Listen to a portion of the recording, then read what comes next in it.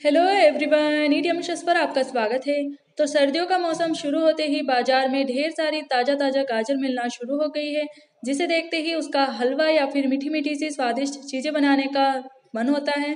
लेकिन उसके लिए गाजर को घिसना होता है, उसे कद्दूकस करना होता है, जिसमें पड़ जाती है ढेर सारी मेहनत और कभी कभी तो पसीने भी छूट जाते हैं। जिससे बचने के लिए मैंने आपके साथ काफ़ी पहले बिना गाजर को किसे उसका हलवा बनाने की मेरी सीक्रेट ट्रिक शेयर की है, जो कि आपने ज़रूर देखी होगी और नहीं भी देखी हो तो प्लीज़ ज़रूर से उसे देखें। आपके वो ट्रिक बहुत काम आएगी। तो बिल्कुल उसी तरह से आज हम बिना गाजर को किसे बनाएँगे गाजर की बहुत ही स्वादिष्ट सी मिठाई। तो चलिए हम इस स्वादिष्ट गाजर की बर्फ़ी को बनाना शुरू करते हैं। इसके लिए मैंने यहाँ पर डेढ़ किलो गाजर ली है, जिसे मैंने अच्छे से पानी से वॉश किया है और फिर उसका छिलका हटा करके इस तरह के रफली पीसेस कट कर लिए हैं। यहाँ पर मैंने गाजर का छिलका हटा करके यूज़ किया है, लेकिन हलवा बनाने में मैं इसका छिलका नहीं हटाती हूँ, क्योंकि इस मिठाई को बनाने के लिए हम इसे दूध में बिल्कुल नहीं पकाने वाले हैं। तो छिलका पकने में ज़्यादा समय लेता है, इसके लिए मैंने गाजर के छिलके हटा दिए हैं और फिर इस तरह से टुकड़े कट कर लिए हैं। तो हमें इस तरह से गाजर को काट लेना है, इसके टुकड़े कर लेने हैं। अब इसके बाद मिक्सी का एक ग्राइंडर जार लेंगे, जिसमें गाजर के इन टुकड़ों को हम इस तरह से भर लेंगे। यहाँ पर हमें इस जार को पूरा नहीं भरना है गाजर के टुकड़ों से, लगभग आधा इसे भर लेना है। और अब हमें इसे ग्राइंड करेंगे मिक्सी में, जिससे कि ये बिल्कुल जैसे कद्दूकस करते हैं, उसी तरह से ये गाजर तैयार हो जाएगी। अब मिक्सी का ये जो येलो पल्स का बटन होता है, हमें इसे दबा दबा करके अपने गाजर को कद्दूकस करना है। यहाँ पर हम एक बार इसे दबाएँगे, फिर छोड़ेंगे और फिर दबाएँगे। इस तरह से रोक रोक कर हम मिक्सी को चलाएँगे। ऐसा करने से गाजर के ये जो टुकड़े हैं, ये ऊपर नीचे होते जाएँगे और सारे टुकड़े बिल्कुल सही से कद्दूकस हो जाएँगे। और ऐसा हमें तब तक करते रहना है जब तक कि सारे टुकड़े अच्छे से कद्दूकस ना हो जाए।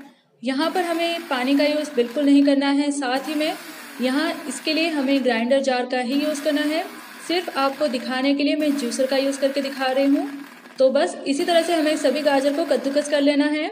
और फिर ये देखिए, हमारी ये जो गाजर है, बिना किसी मेहनत के झटपट से इस तरह से तैयार हो जाएगी। और एकदम अच्छे से कद्दूकस हुई है ये देखिए। जिसका हम हलवा भी बना सकते हैं, बर्फ़ी या कोई भी मीठी चीज़ बना सकते हैं। तो हलवा तो मैंने आपको पहले ही बना करके बता दिया है इससे। अब हम बनाएँगे स्वादिष्ट सी मिठाई और अब हम इसे एक मिक्सिंग बाउल में निकाल लेंगे और सभी जो गाजर के टुकड़े हमने करके रखे हैं, वो हमें इसी तरह से तैयार करने हैं मिक्सी में कद्दूकस करने हैं, जिसमें ज़रा भी मेहनत नहीं लगेगी हमें। तो इस तरह से बिना किसी मेहनत, बिना किसी परेशानी के मैंने सभी गाजर के टुकड़ों को कद्दूकस कर लिया है मिक्सी की मदद से, जिसकी कि अब हम स्वादिष्ट सी मिठाई बनाएँगे। अब गैस पर मैंने कढ़ाई को गर्म होने के लिए रखा है, जिसमें हम डालेंगे दो बड़े चम्मच देसी घी घी की जगह पर डालडा घी का या फिर रिफाइंड ऑयल का यूज़ भी कर सकते हैं, लेकिन देसी घी से मिठाई का स्वाद तो बहुत ही अच्छा आता है, ये तो आप भी जानते हो। तो इसे हम गर्म होने देंगे अच्छे से। अब जब घी अच्छे से गर्म हो जाएगा, तब ये जो कद्दूकस करके हमने गाजर को रखी है, ये हम इसमें डाल देंगे सारी। और गाजर को हमें इसमें अच्छे से भूनना है पाँच से दस मिनट के लिए, या फिर तब तक, जब तक कि गाजर का सारा पानी अच्छे से सूख ना जाए, और ये पहले से थोड़ी सिकुड़ ना जाए। और इसे हम बीच बीच में चम्मच से चलाते भी रहेंगे ताकि गाजर कढ़ाई में जल ना जाए। तो बस इसी तरह से हमें गाजर को पहले भून लेना है, अच्छे से इसे पका लेना है। तो यहाँ पर मुझे गाजर को भूनते हुए पाँच मिनट हो गए हैं और इतने में गाजर का कलर हल्का सा चेंज हो गया है। लेकिन अभी भी इसमें काफ़ी पानी है तो हमें इसे और भी भूनना है और अच्छे से पकाना है इसे। अब गाजर को भूनते भूनते मुझे एक्स्ट्रा पाँच मिनट और हो गए हैं और अब इसका सारा पानी, इसका सारा मॉइस्चर अच्छे से सूख गया है। तो बस हमें इसे इतना ही भूनना था, जिससे कि इसका सारा कच्चापन दूर हो गया है। अब हम इसमें डालेंगे चीनी, यानी कि शक्कर, और चीनी हमें अपने टेस्ट के अकॉर्डिंग डालनी है। जितना आपको मीठा पसंद हो, उतना आप इसमें कर सकते हो मीठा। लेकिन गाजर में ऐसे तो ज़्यादा चीनी नहीं पड़ती है, लेकिन क्योंकि हम इसकी बर्फ़ी बनाने वाले हैं तो वो ठंडी होने के बाद उसमें मीठापन कम ना रह जाए। इसके लिए हम इसमें थोड़ी सी एक्स्ट्रा चीनी मिलाएँगे हलवे के मुकाबले में। तो मैंने इसमें लगभग थ्री फोर्थ कप चीनी मिलाई है। और इसे हम अच्छे से अब पकाएँगे क्योंकि चीनी फिर से अपना पानी छोड़ देगी। तो चीनी के साथ भी मैंने इसे एकदम अच्छे से पका लिया है और चीनी का जितना भी पानी था वो सारा सूख चुका है।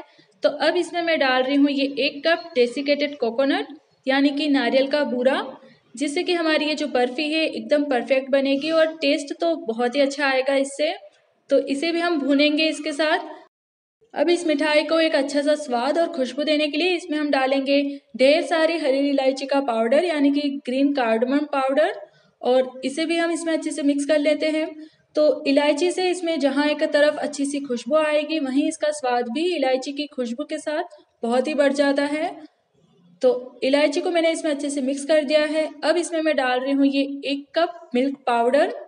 यहाँ पर हमने दूध का यूज़ नहीं किया है, मिल्क पाउडर का यूज़ किया है। तो इसे हम इसमें पहले एक बार अच्छे से मिक्स कर देते हैं और इसे भी हमें फिर से अच्छे से भूनना है, अच्छे से इसे पकाना है। यहाँ पर हमें इस मिठाई को, इस बर्फ़ी को बनाने के लिए मिल्क पाउडर और डेसिकेटेड कोकोनट इन दोनों का ही यूज़ ज़रूर करना है। इन्हीं से हमारी जो बर्फ़ी है वो एकदम परफेक्ट बनेगी। साथ ही में अगर आपको पसंद हो तो आप इसमें अभी इस टाइम पर मिक्स ड्राई फ्रूट्स यानी कि अपने पसंद के ड्राई फ्रूट्स मिला सकते हो। ये देखिए, अभी ये एकदम अच्छे से गाढ़ा हो गया है और कढ़ाई को भी इस तरह से छोड़ने लगा है। तो हमें इसे इतना इस तरह से पका लेना है। अब हम इस बर्फ़ी को, इस मिठाई को सेट करेंगे और फ्लेम को तुरंत ही बंद कर देंगे।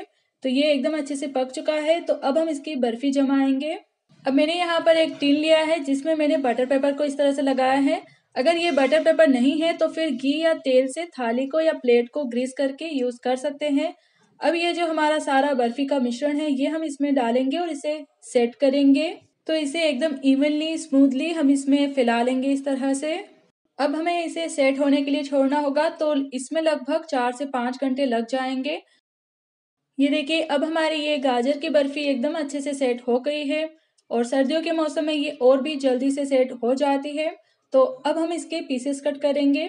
तो किसी भी शेप में आप इसे कट कर सकते हो। मैं इसे बर्फ़ी की तरह चौकोर शेप में ही कट कर रही हूँ। तो ये देखिए, हमारी ये जो गाजर की बर्फ़ी बनी है, ये खाने में भी अच्छी है और देखने में भी बहुत ही सुंदर लग रही है। बहुत ही अच्छा एकदम प्यारा सा इसका कलर आया है। तो आप भी इसे इस तरह से ज़रूर बना करके देखें, सभी को ये पसंद आएगी। तो अब हम इसे जल्दी से सर्विंग प्लेट में निकाल लेते हैं ताकि हम इसे जल्दी से खा करके इंजॉय कर पाए सीज़न में।